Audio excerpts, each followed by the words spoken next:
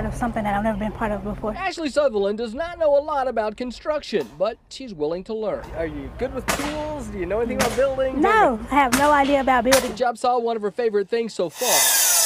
Ashley is next in line to get a brand new Habitat for Humanity home. In fact, hers is currently under construction. But on Wednesday, she was volunteering her time to help build someone else's home. This is a good opportunity and a good experience for me to learn building some windows today. It's called the Habitat for Humanity Women's Build. Women all over the metro volunteering to help build homes for other women. We know that there's a great need here in Kansas City for affordable housing for women. 78% of the people that come through our home ownership program are single mothers or women-led households. It's more than 400 women volunteering on this women's build over the next two weeks on these four homes. By the time this entire project's done over the next year, there will be more than 20 Habitat for Humanity homes here. So the need is just really great.